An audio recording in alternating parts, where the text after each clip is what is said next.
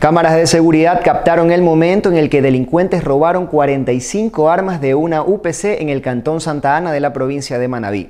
El hecho se registró la madrugada de este martes 7 de noviembre. De acuerdo a fuentes policiales, minutos antes del robo hubo una alerta de riña familiar, por lo que dos uniformados tuvieron que salir de la unidad de policía comunitaria para atender el llamado. Las armas sustraídas fueron 41 pistolas tipo Glock y 4 carabinas calibre 2.23. Además, en Guayaquil, una nueva intervención a la penitenciaría del litoral se registró durante la madrugada de hoy. El operativo se ejecutó debido a los incidentes ocurridos entre internos dos días atrás. SNAI no ha compartido ninguna actualización sobre la situación del centro carcelario. Cambiando de tema en deportes, MLE cumplió un nuevo entrenamiento sin Miller Bolaños. La mañana de hoy el cuadro eléctrico entrenó a puertas cerradas en Samanes. Sin embargo, el goleador azul Miller Bolaños no llegó a la práctica.